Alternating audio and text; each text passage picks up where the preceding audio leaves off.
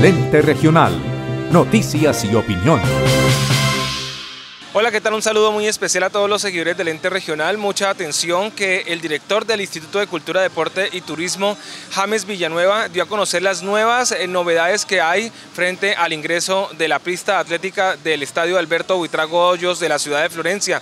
Hablamos con el funcionario que entregó las nuevas estrategias para eh, que la gente pueda hacer deporte al interior de este estadio en la capital de Caquetá.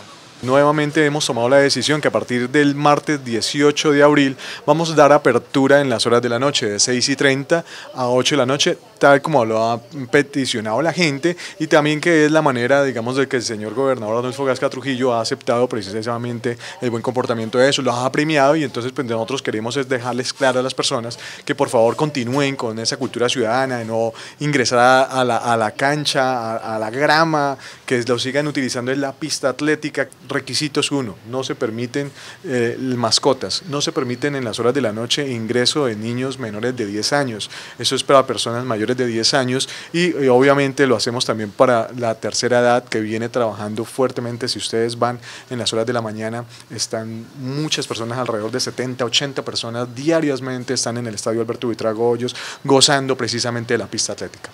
En este orden de ideas, el funcionario dio a conocer el horario que tendrán las personas para el ingreso a la pista atlética del Estadio Alberto Buitrago Hoyos. Las personas pueden ir de 5 de la mañana a 6 y 30 del ingreso. Pueden disfrutar hasta las 7 si así lo desean.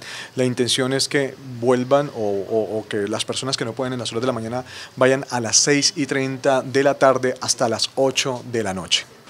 El funcionario destacó el buen comportamiento de los deportistas que ingresan a diario al estadio Alberto Buitrago Hoyos y que hacen uso de la pista atlética del estadio Alberto Buitrago Hoyos quiero resaltar el comportamiento, la cultura ciudadana, quiero manifestar que pues lo hicimos de manera pedagógica, que no se hace por el estadio como tal, la puerta principal, sino lo hacen a través de, de la puerta del instituto departamental, donde el vigilante y un funcionario de deporte ha venido dando la asesoría diciendo por favor nada de pisar la grama del estadio, eh, porque pues las condiciones de la grama no están para pisarse con tenis o algo así, sino con guayo, como lo establece la normatividad, eh, pero hay que resaltar la buena conducta, la cultura ciudadana que ha tenido las personas.